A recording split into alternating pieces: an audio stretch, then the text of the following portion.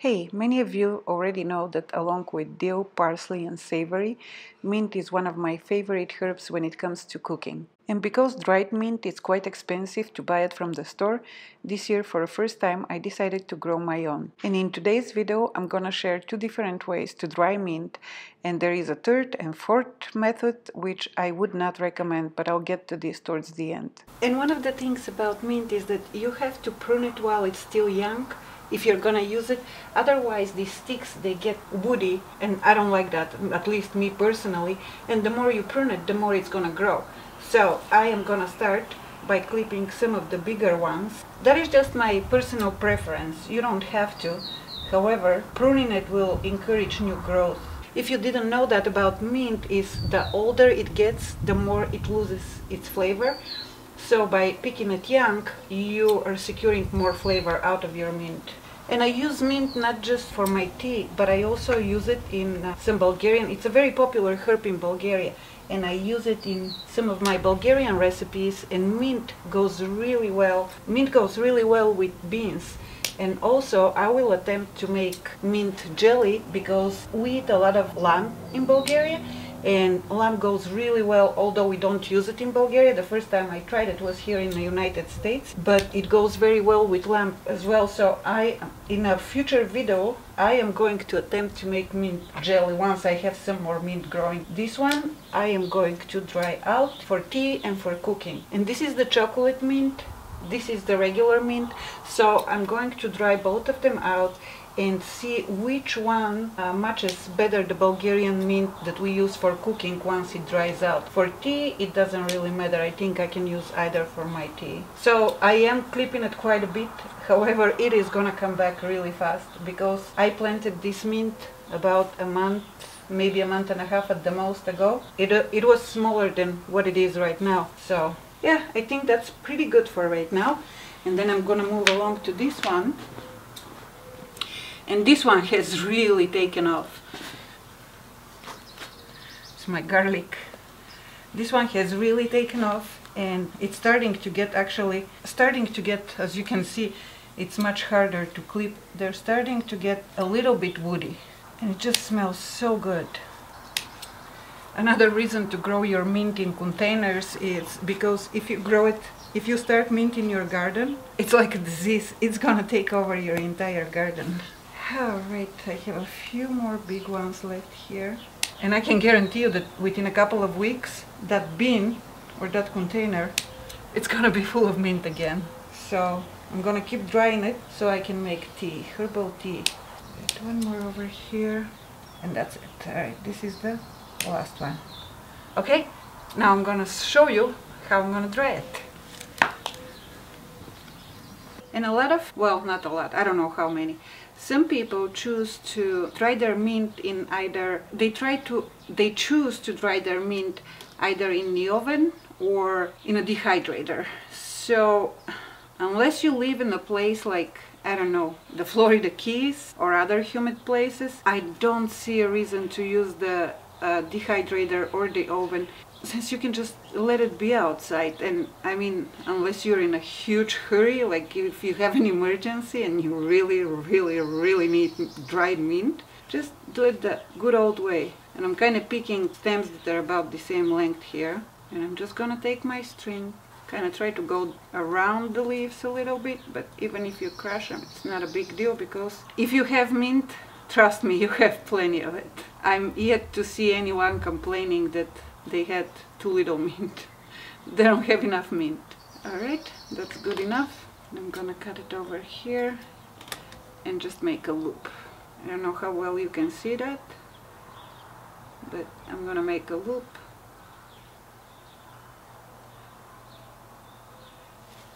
Just as such.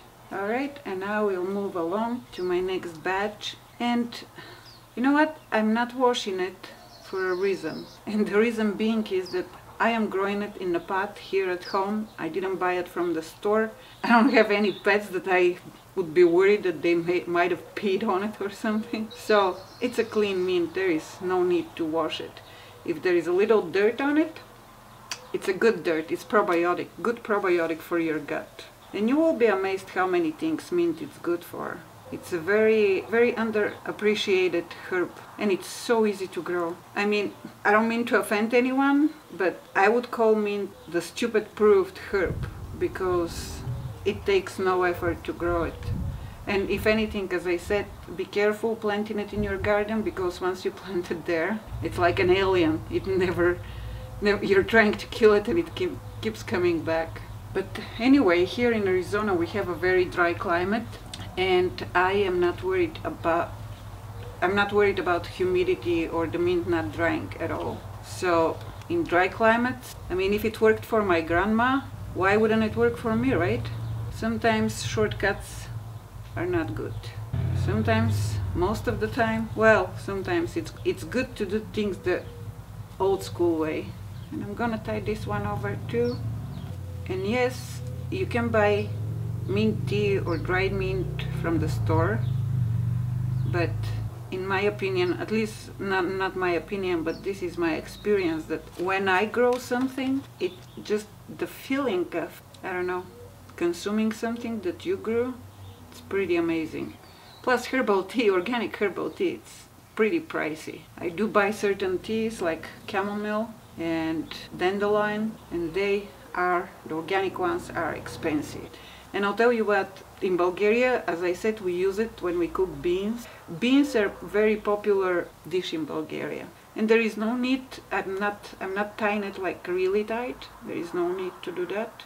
Just enough to, to keep it together. It smells so good. Tied this a little short, but it will do. Grow your own herbs. Oh, that smell. It's like a drug. There you go. And now I'm gonna go inside and hang it to dry. So good. And you know what? And the second thought here, now it's warm enough outside, it's in the 90s, that I actually have to use the AC inside. So instead of bringing them inside, bringing the mint inside, although it's gonna smell really good, it's gonna dry out here faster. And all I'm gonna do is I'm gonna use these paper clips that I stretched and I'm just gonna hang my in here. How about that? How about that? Alright, that's perfect. Now my OCD kicks in. This one, it's too high and it drives me crazy, but that will do. Anyway, I'm just gonna let it dry out here. And don't make the bunches too big. This is about the right size. This way it's gonna air out and uh, dry out faster. And now it's exactly one week later, so the mint has completely dried out. And I'm gonna be using it for cooking, this particular one. So I'm just gonna pull the leaves out of the stem and the stem it's too hard to use in cooking. However, if you're using it for tea, you can use that as well. But just carefully remove all the leaves. You see how easy they come out? So it took exactly one week. Eventually I had to bring the the minty inside because it got windy outside and it was getting dry so I didn't want to lose all the leaves in the wind. And I'm gonna save these for my tea. I'm not gonna get rid of them. But you see how nice and dry and crunchy it is? And these are all the leaves from the two bunches of dill, I mean of uh, mint.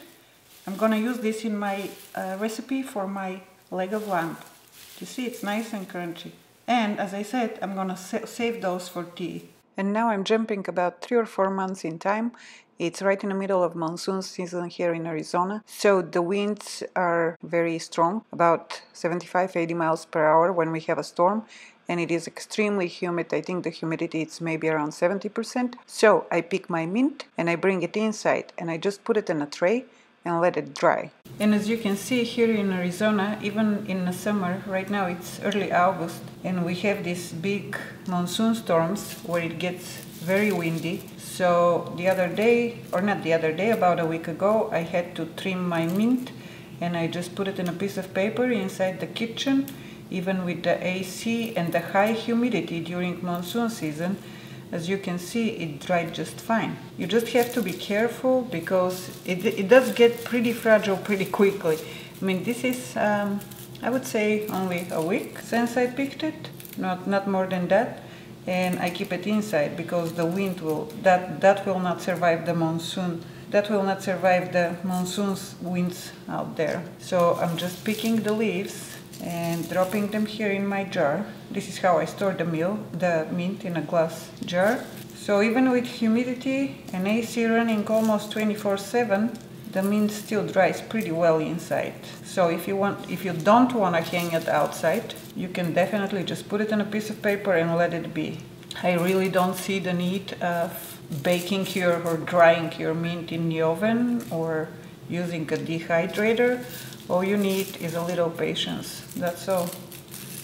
And about every 10 days or so I have to trim the mint to keep it growing nice and young and fresh. So I just pull a piece of paper from the drawer with recycling paper, put my mint there and, and I have it for my delicious beans and lamb recipes. And if you use a lot of mint in cooking like I do, I would definitely recommend growing your own because for that amount of mint at the grocery store, uh, you would probably have to pay, let me think about 10, probably about $50, if not more than that. And I never started the mint from seed. I just buy the starter plant from the store and then plant it into a bigger pot.